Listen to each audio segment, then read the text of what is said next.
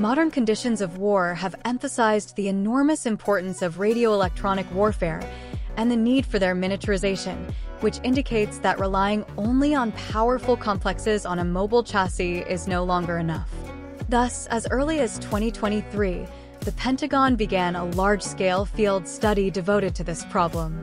Although the details of this study remain secret, it becomes known about certain practical actions, the delivery of wearable EW systems to the U.S. Army in a short time. The first copies should be delivered to the main training bases of the Army, and then to each combat brigade of the ground forces for personnel training. The terms of the first stage are six months and have a higher priority, the Center of Advanced Research in the field of cybersecurity, which is part of the Army and specializes in training specialists and modernization of communication and communication systems. What specific system will be supplied to the American eyelash remains unknown, but it is known that the wearable complex, placed in a backpack, is intended for use by two fighters.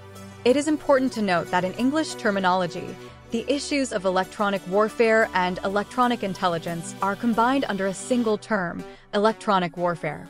Therefore, the task of the operators of such a wearable complex will be not only the analysis of the radio spectrum to detect threats, but also the creation of obstacles.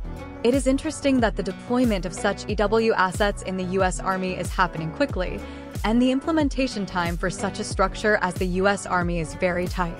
Moreover, the mass production and saturation of brigades will occur in parallel with the training and integration of new capabilities at the lower infantry level. Like, comment, subscribe to the channel.